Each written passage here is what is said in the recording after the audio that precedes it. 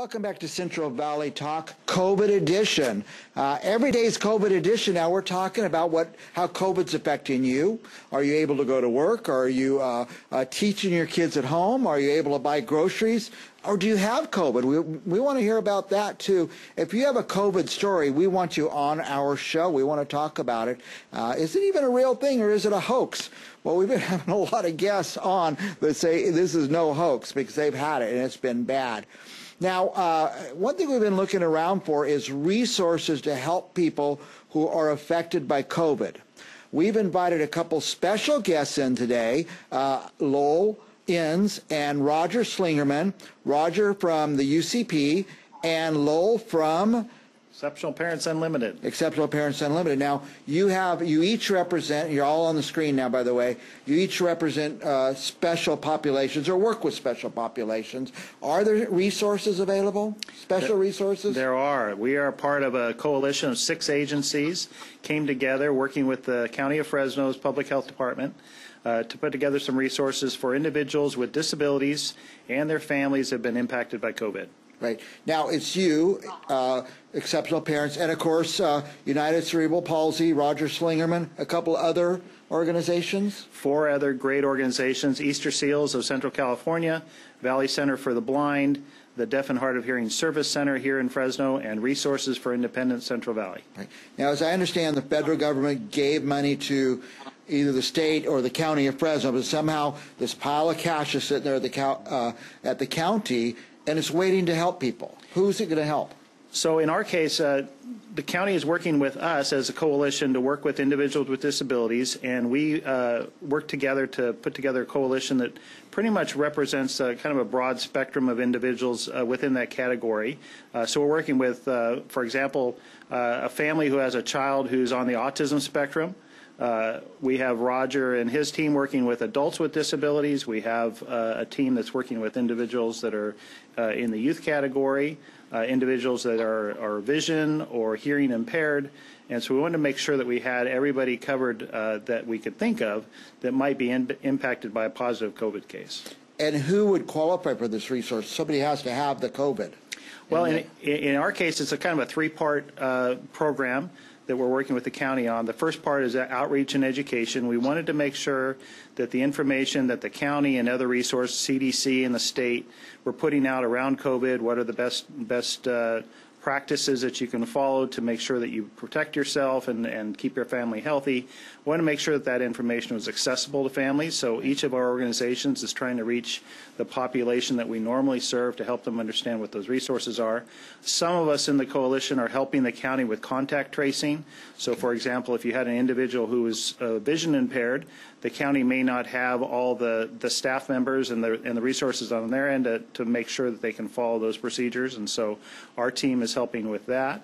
And then finally, we have some resources from the county, from this funding, uh, to provide quarantine supports. So we can uh, provide some financial uh, benefits to families that are directly impacted by a positive COVID case. Right.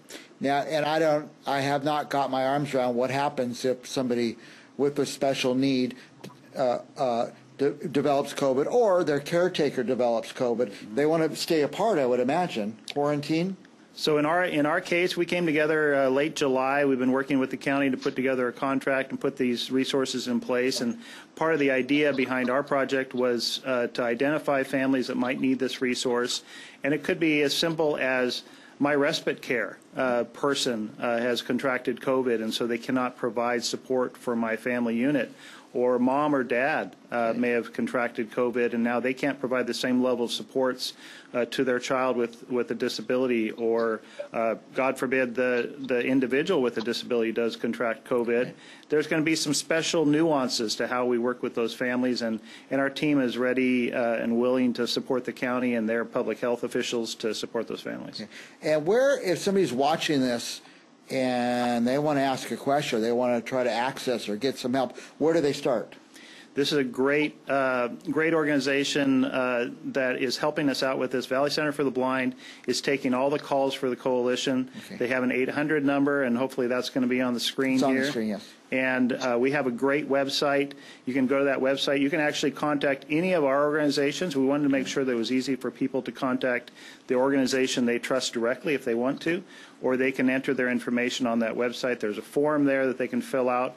Again, Valley Center for the Blind will take that information. They'll distribute it to the appropriate agency. where it needs to go. We have a great flyer on the screen, but let me let me say this. Uh, I think I would say the Dis- Disability Equity Project, and I'm going to give you the phone number in just a second, and uh, that would be 888 468 9115, or go to uh, depfresno.org. It's a disability equity project. Uh, Roger, uh, with UCP, what do you have to add for us?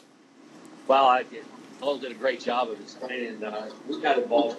We want to help people with disabilities, and we, you know, we serve a lot of the adult programs within Fresno County. There's well over 5,000 people with uh, adults with disabilities in Fresno County. We're just one of the agencies, but uh, we are a resource now to help uh, support families and be able to do that. We also have a, a number that they can contact us directly if they have an, with, adult with disabilities um, as well. I don't know the number offhand. I know we have an email as well, but they can call the 800 number and get to us. But uh, this is uh, really Lowell and the group from EPU that really put this together to help us not only people with disabilities that have uh, developmental disabilities like our program and the children's program that uh, Lowell's working with, but all types of different disabilities and all different types of minorities in the community. So it's it's a needed resource, and uh, we're looking forward to it. And so we're, we're doing it through the end of December, but looks like it might extend till to June and July, and at that point we'll uh, we'll continue to make sure we help the people that need the support.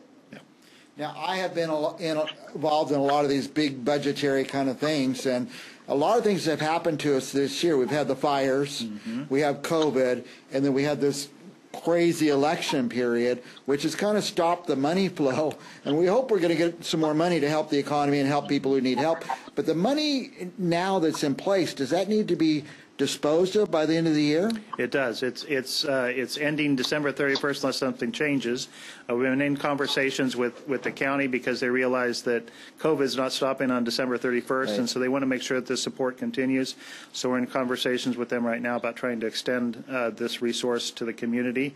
And again, we, we kind of got, uh, I guess, a, a, little bit of a late start here. We started really working on this probably around September. Yeah. Um, and it's hard to get the information out to everybody in a short amount of time, but we're trying to do that. Want to make sure people are aware of this resource. Doesn't work for everybody. We're gonna we're gonna analyze each case and make sure that it fits our our criteria and our our program, uh, but definitely want to make sure that we're providing the education and outreach to families that may need it and they may need a special way of looking at the situation, and, and maybe we can help out with that. But maybe you can work something out. I mean, maybe there's not a straight ahead program, but if there's someone needs help, they should call the number and find out. Definitely. And it looks, definitely. sounds like you guys will bend over backwards to see how you can help somebody. And uh, it sounds like the person with the special need doesn't have to have COVID, but someone in their circle or somehow being infected by COVID. Right. Or they might have COVID. Right, right. It'll, it, it, each each case is different. Um, that's the great thing about having six organizations. Uh, each of us can look at the situation and say, "Hey, we, I, EPU might look at it and say, this is a better better situation or case for, for Roger to handle at UCP. We'll hand it off, and they can then look at it individually and say, is this an individual with a disability who might, because of complicating circumstances, uh, because of COVID, they may, may need extended uh, time uh, and resources and support, so we can help them with that. How about the very case that maybe they can't function in society right now because they can't go to a grocery store, they can't get their haircut, they can't get their needs taken care of. I mean, maybe not even having COVID, but just being massively affected. Maybe there might be a need there. We want to help those families. We want to help them know about what the resources are that are available to them. There are a lot of resources in our community, food distribution, uh, other resources that are available. We're not sure that everybody understands what those resources are. And then in some cases, like uh, for example with Roger, we've been talking about transportation. Mm-hmm. If they need transportation to get to those food distributions or they need that food brought to them, to them we want to help. Well, something. So it's doesn't have to be totally worked out. Call and these organizations will help work it out. You'll send them to the right person, and they can start just by going to that uh, web address, I guess, depfresno.org, disabilityequityproject.org. Call the main number 888 468 9115. Roger, last thoughts? No, I just want to thank, you, Mike, for uh, having us on the show, and you, you've been a big supporter of not only UCP but other programs with disabilities, and and this is a great resource to get this information out. We do a lot of this information through Facebook, and we send it on YouTube and send it through our emails, and it reaches an awful lot of people. And we want to thank Central Valley Talk for being able to host us today and keep us keep us in mind when we keep going forward as this doesn't change or keeps changing. Well, thank you, Roger, for what you do.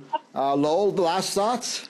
Same as Roger. I really appreciate the opportunity to be here pleasure. today and uh, share this information with our community. All right. Uh, it is the uh, Disability Equity Project. There's a phone number on the screen, 888-468-9115, and the web address, depfresno, depfresno.org.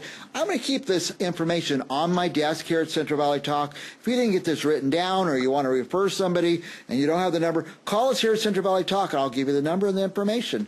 We'll be back with more Central Valley Talk right after this.